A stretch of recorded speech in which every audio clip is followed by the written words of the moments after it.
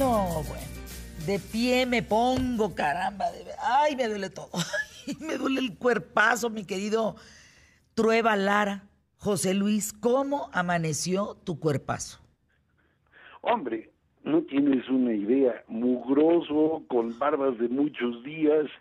Ya me compré una podadora de pelo con la cual voy a dejar francamente anonadado a tu perrito. A, a, a, Laza, al, al, chiquito, al de las greñas. Exacto, o sea, ¿ya estás greñudo? ¿Estás greñudo, José Luis? Sí, un poco, de lo, sobre todo de la cabeza. Ya ves que tiendo a ser muy pelón. Pues ahora hasta se me ven pelos. Me voy a hacer un peinado a la Krusty para esta semana.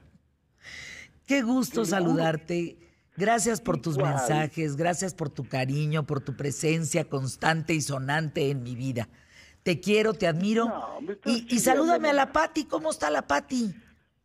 Muy bien, fíjate que ella todavía no enloquece, ella va muy bien. Yo soy el que a ratos ya, ya me ya me subo a la azotea a gritarle a las nubes. Pero pues, Patti está muy sensata, lo cual es verdaderamente sorprendente, como siempre. Ella es el ancla de todo esto. Ay, qué maravilla. Ella, quién sabe a dónde acá hubiera acabado yo ya, seguramente estaría corriendo encuerado por las calles y causando horror como un monstruo espantoso. Oye, José Luis, ahorita antes de entrar en el tema del el peso de la cultura en México, pero fíjate esta reflexión para todos ustedes. Qué importante, y te das cuenta en un encierro como este, en un enjaulamiento, como dice mi querido Rodrigo eh, García, en, en un enjaulamiento como este te das cuenta de lo importante que fue elegir a la pareja que tienes. Efectivamente. Porque, para bien o para mal, ¿eh? Porque puedes darte cuenta de lo, de lo, de lo jodido que estás, pues, o de lo jodida que estás. Porque elegiste mal. Exacto. Pero fíjate que esto que tú acabas de decir es justo el eje de la cultura. Me voy a explicar de una manera muy simple. A ver. Lo que nos hace diferentes a ti y a mí de los animales es que cuando terminamos de hacer el amor nos quedamos abrazados. No solo eso, de pilón, además de que nos podemos quedar abrazados después de hacer el amor, nos acariciamos con palabras. Tú a todas las personas que quieres las acaricias con palabras. Ahorita, por ejemplo, cuando me recibiste, yo me sentí profundamente acariciado con tus palabras. Espero haber logrado lo mismo. Ay, qué bonito, ¿Qué quiere decir esto? Que la cultura es todo aquello que rompe con nuestra capacidad para seguir siendo unas bestias peludas. ¿Es lo que nos sensibiliza? ¿Es lo que nos hace esos sensibles?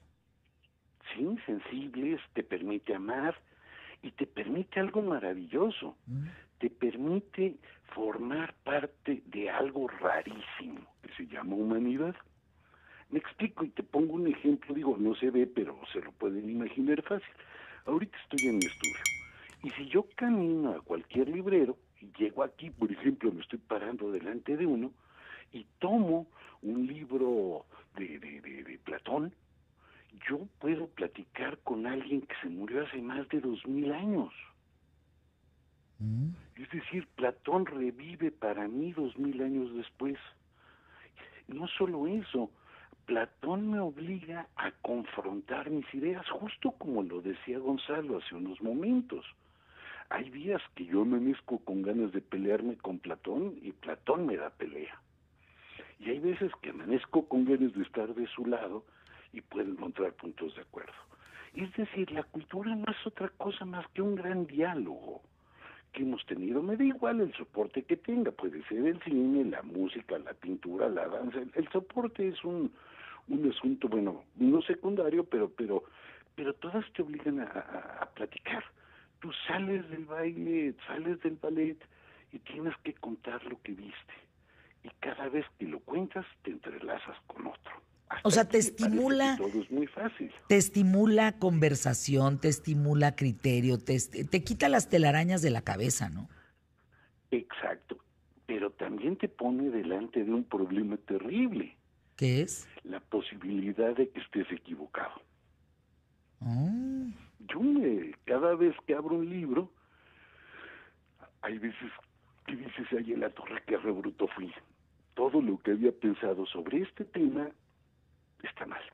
O ves un cuadro y dices en la torre, todo esto que yo había creído sobre el mundo es falso. Es decir, te coloca ante algo maravilloso, la posibilidad de que tú seas equivocado y de que no tienes el tamaño que crees tener. Justo por eso los políticos la desprecian. Un político que quiere ser culto corre muchos riesgos. Por ejemplo, corre el riesgo de saberse equivocado. Corre el riesgo de tener que escuchar a otro que en un descuido tiene una mejor opinión que él. Se ve obligado a no ser el muy muy y convertirse en una persona pues para decirlo de manera muy precisa, agachona y del tamaño que es, es decir, mientras más lees, más burro eres.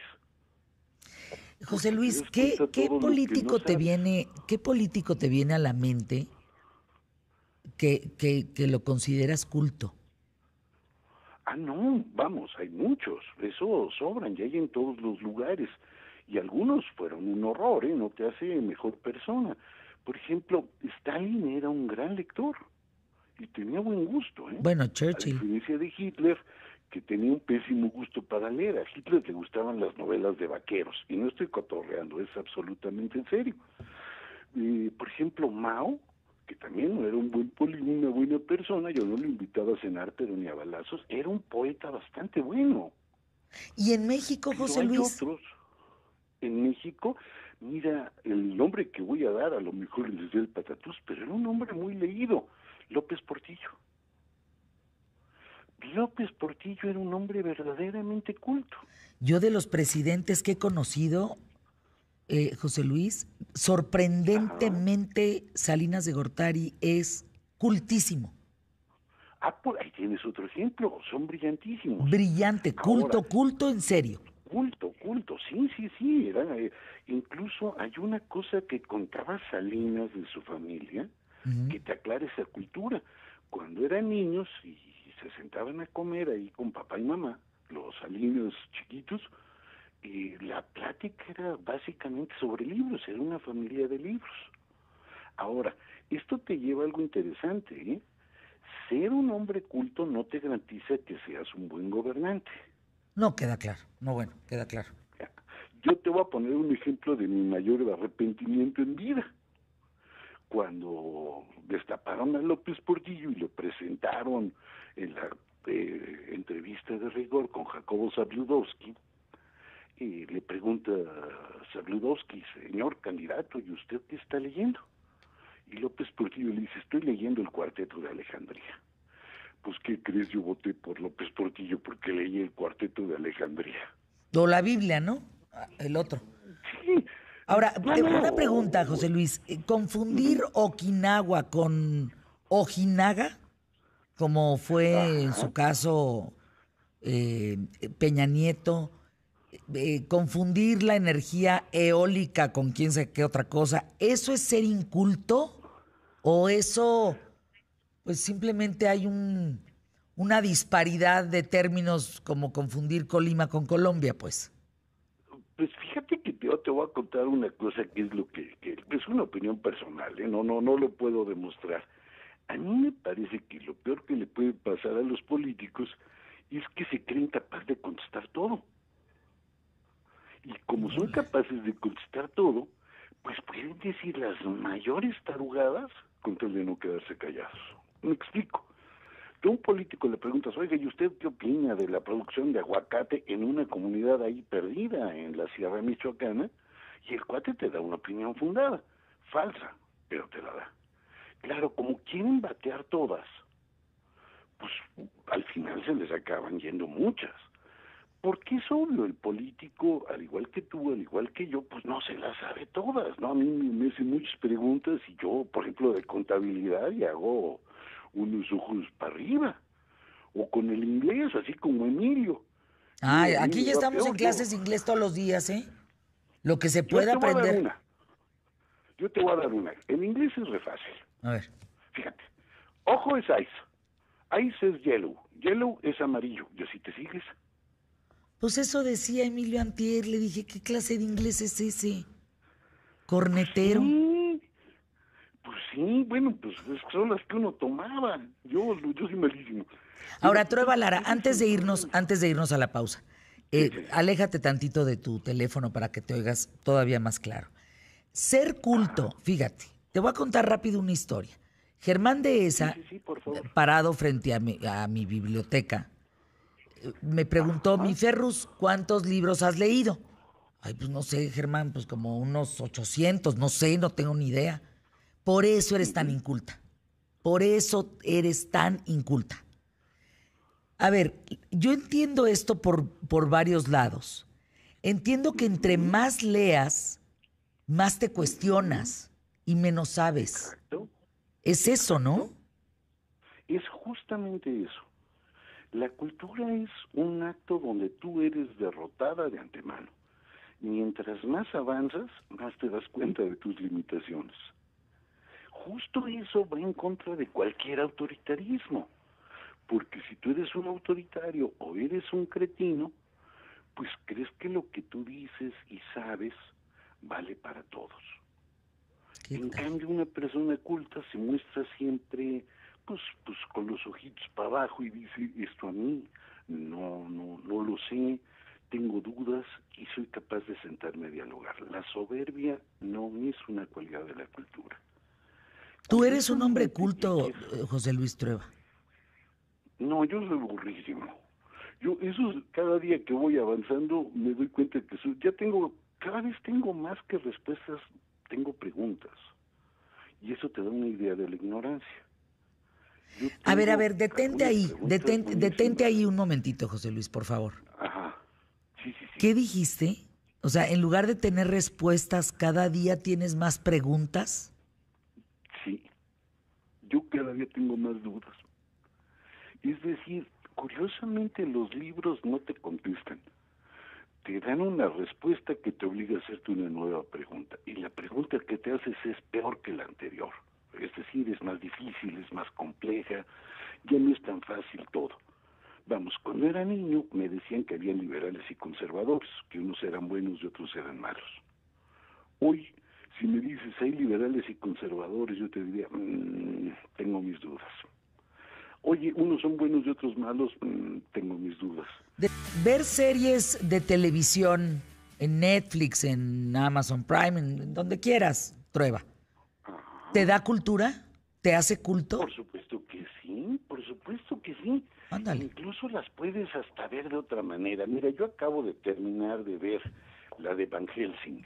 Ajá. Y ver esta cosa de vampiros, que, que podría parecer intrascendente a muchos, es maravilloso porque la ves y puedes ir jugando a qué se parece esa serie, cómo está vinculada con otras. Es que la cultura es como una red. Entonces, cuando entras en un puntito, la serie de Van Helsing, de ahí te acuerdas de Drácula, de ahí te acuerdas de muchas otras películas, de ahí te acuerdas de libros, y eso te da chance de mirar aquello que tienes delante de ti de otra manera. Aún más, fíjate, en época de confinamiento, la cultura se vuelve la única manera de salvarse. Te voy a poner un ejemplo personal, perdón que ponga un caso personal, pero hace algunos años en el sexenio de Calderón, yo estaba como director editorial del Conacult y entre las chambas que había que hacer estaban las salas de lectura. Y se nos ocurrió una idea que parecía rara, pero tiene que ver mucho con lo que hoy pasa. Cuando ocurre una desgracia natural, muchas personas terminan metidas en un albergue. Y ahí se quedan encerradas en unas condiciones que no están buenas, ¿eh? son escalofriantes. Entonces mi duda era, ¿cómo le hacemos para que estas personas no se vuelvan locas? ¿Mm? Para que estas personas no se no entren en este paroxismo de, de la cercanía, y es al revés, era por, por, por aglomeración. Y se nos ocurrió capacitar a los soldados que que estaban en el plan de N3 para que se volvieran contadores de cuentos y para que aprendieran a darles libros y a, guiar lecturas en la gente que estaba en los albergues. Bueno, pues capacitamos a los soldados. Y el día que se graduaron como promotores de la lectura algunos, nos invitaron ahí a una zona militar o a un cuartel, no sé cómo se diga técnicamente, en Baja California. Y el general que estaba ahí le dice uno de los graduados, ¿y usted qué aprendió? Cuando le dijo eso de, ¿y usted qué aprendió? A mí me dio miedo de darte, de decírtelo con sinceridad. Y este soldado dijo algo que a mí no se me puede olvidar. Dijo, yo aprendí a encontrar las palabras. Ándale. Cuando yo agarré el primer libro y hice mi ejercicio de leérselo a mi hijo, platicamos por primera vez.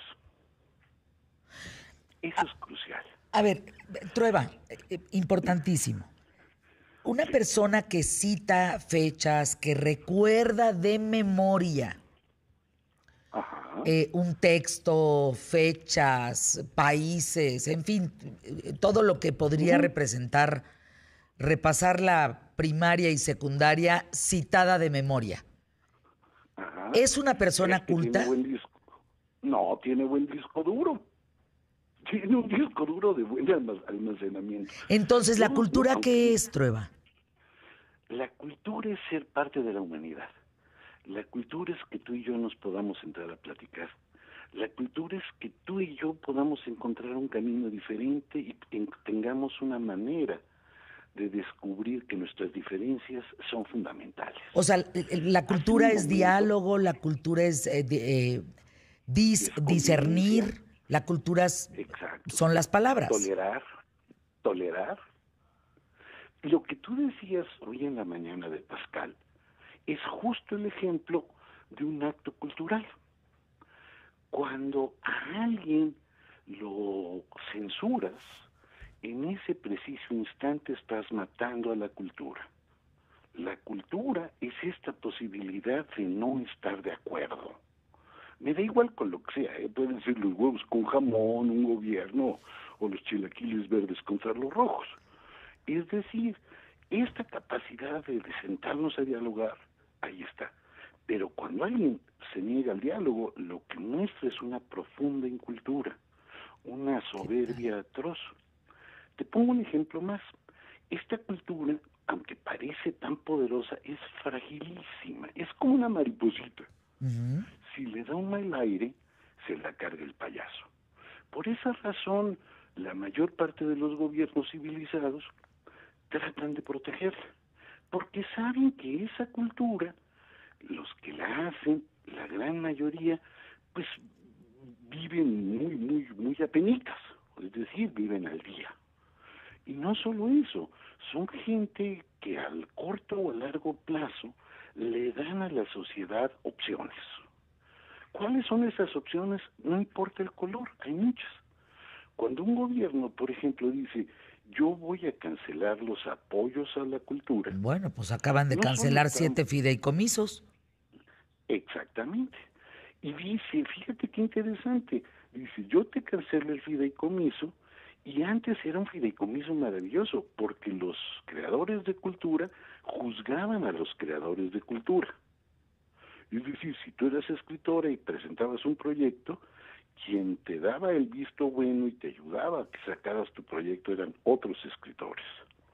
Y hoy se vuelve un fondo discrecional.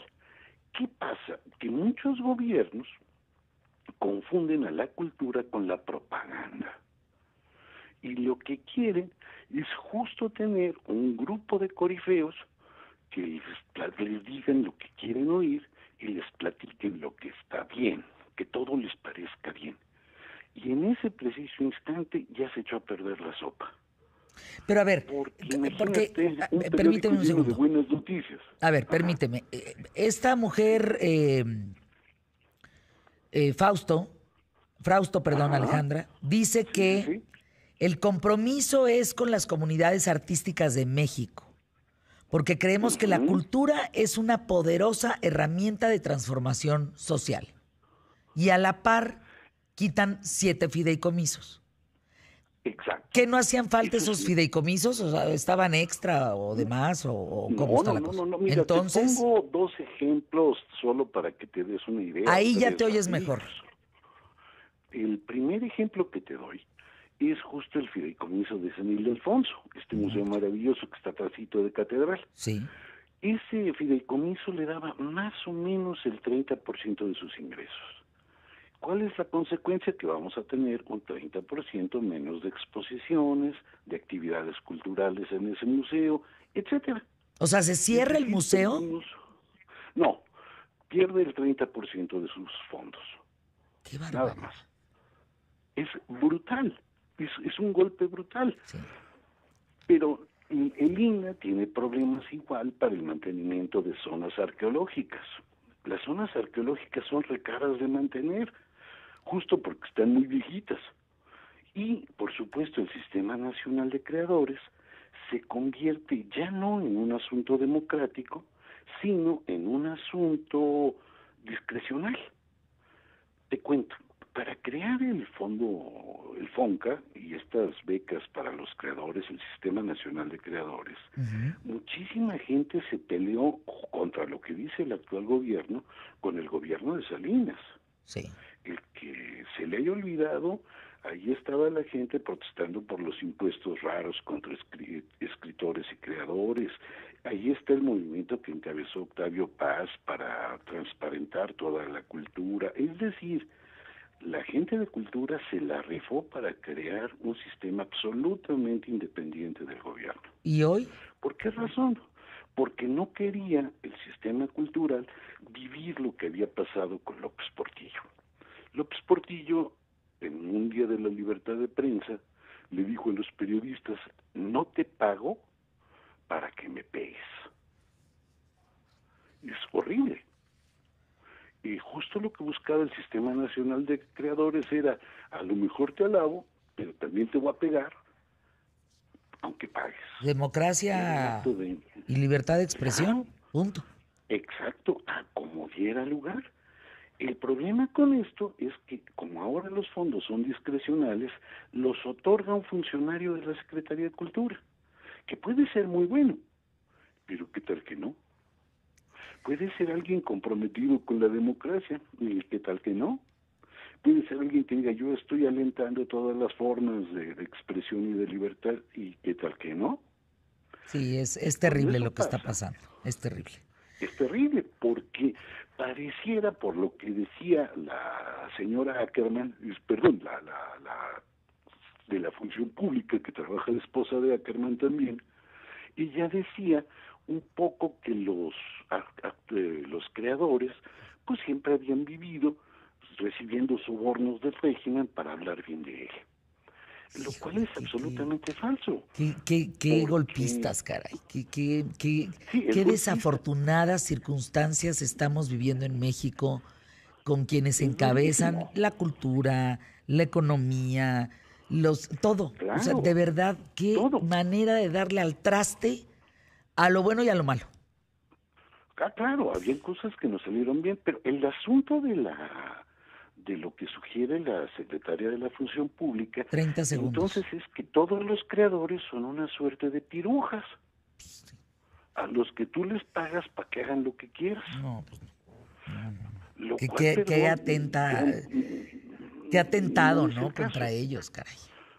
Claro, no es el caso.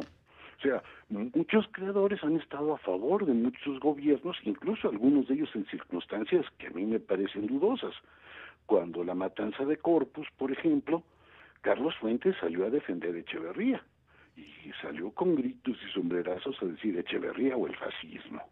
tengo que ir a, Spots QTF, mi querido, mi querido Trueba, tengo que ir a Spots QTF. Eh, quisiera estar más tiempo contigo, pero nuestros patrocinadores son bien importantes. Pues te mando un beso grande